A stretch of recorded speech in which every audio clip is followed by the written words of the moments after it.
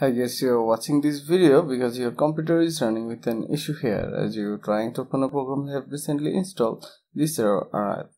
The code execution cannot proceed. VC runtime 140 underscore word.dll was not found or the program can start VC runtime 140 underscore 1.dll is missing from your computer. It's a very common issue and it has a very easy solution. Hello everyone, welcome to Tech Evolution. In this very short video I'll be fixing this error. Before we start, let me thank you for very nice feedback in my previous video. Consider liking and subscribing if the video helps you. So enough with the intro, let's get started. The first step is to download the DLL file. In order to download the DLL file, need to first open your favorite browser and search for the DLL name. This is VC runtime 140 underscore word.dll and choose any result you want. In this case, let's choose the first one. This is not sponsored, but I'll put the link in the description. Here you can see few download options based on the computer architecture and version to know your computer architecture and version you need to first click on start and search for system information. Here you can see mine is a 64 bit pc and i'm updated so let's choose the first one. I strongly recommend you to read this page. It has other fixing method also. As the download complete hit open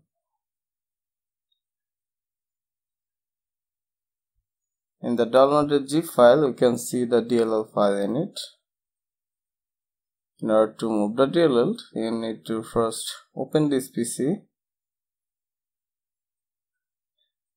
Then click on your system drive. This is local disk C. Then Windows and find a folder name system32. This is the home of 32-bit DLL files. Then click on the downloaded zip drag the DLL and drop. I have already done this so it is asking me to replace. Before we proceed, let's check by typing the entire file name. You can see the file is placed in 32-bit folders. So job is done for 32-bit users. Let's go and start your computer. This is the summary of the process of 32-bit users. This is only applicable if you are a 64-bit users. You need to open this PC one more time. Go to system drive, Windows, and find a folder name wow64. This is the home of 64-bit DLL files. And similarly, drag the DLL and drop.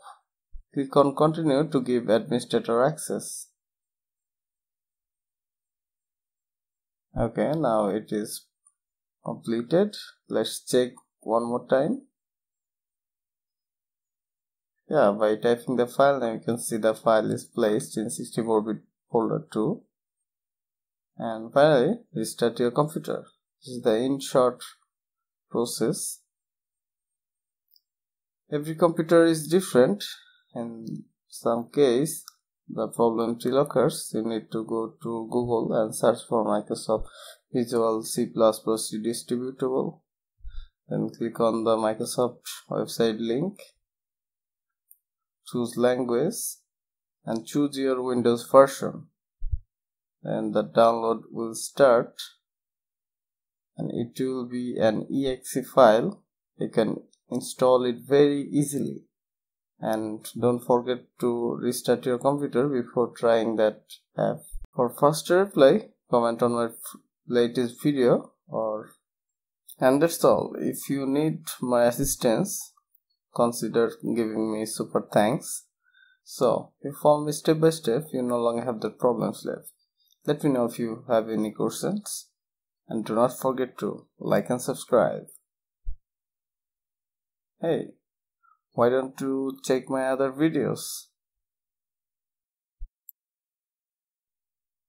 Thank you for watching.